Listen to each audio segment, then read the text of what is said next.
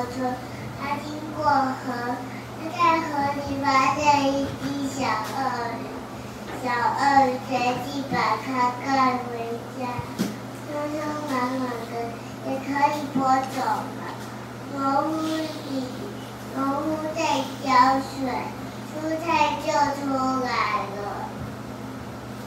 有时候是新疆菜，有时候是大口菜，其卡其，卡其锅，卡其锅，这个是新疆菜。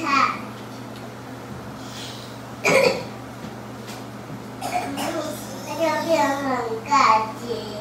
前几天够一位医生帮大家检查身体，有个人发现咕咕的声音，有个小朋友便便大不出来，就小鳄鱼很健康。